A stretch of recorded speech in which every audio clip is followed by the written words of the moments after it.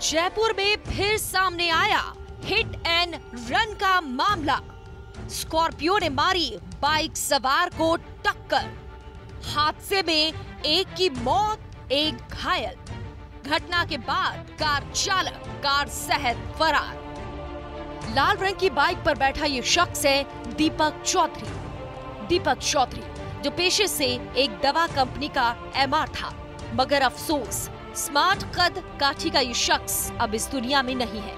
जिस बाइक पर वो बैठा है, वो बाइक उसने एक महीने पहले ही खरीदी थी।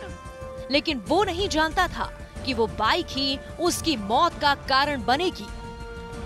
क्योंकि राजधानी में अंधेरा होते ही सड़कों पर रफ्तार के रूप में मौत दौड़ने लगती है। रात के 11 बजे थे।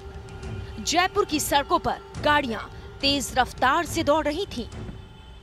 मामला आदर्श नगर थाना इलाके के गोविंद मार्ग का है, जहाँ मौत सड़कों पर रफ्तार के रूप में घूम रही थी। रईस जाते शराब पीकर गाड़ी भगा रहे थे। गोविंद मार्ग पर स्कॉर्पियो ने एक बाइक सवार दीपक चौधरी को टक्कर मार दी। टक्कर इतनी ज़बरदस्त थी कि बाइक सवार दीपक चौधरी की मौके पर ही मौत हो गई। मौत हो गई तो वहीं उसके साथ बाइक पर पीछे बैठा युवक मान सिंह गंभीर रूप से घायल हो गया, जिसका उपचार एसएमएस अस्पताल में चल रहा है।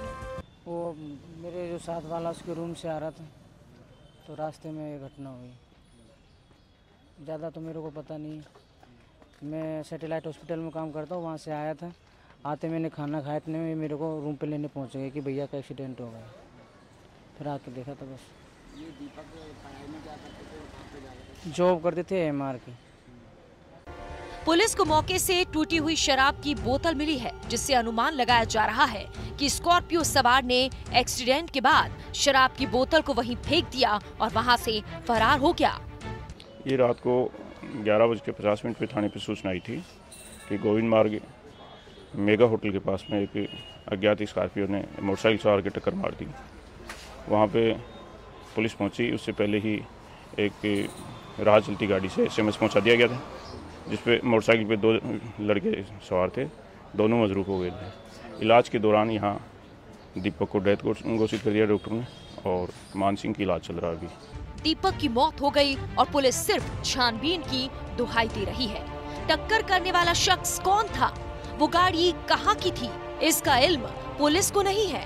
ऐसे में सवाल उठता है कि राजधानी की ट्रैफ़िक व्यवस्था पर क्या हर रोज रात को राजधानी की सड़कों पर मौत का नंगा नाच यूँ ही होता रहेगा? क्या हर रोज रईस जादे लोगों को रौन कर यूँ ही फरार होती रहेंगे?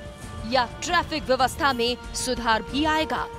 गुनाह के लिए जयपुर से दीपक चावला की रिपोर्ट।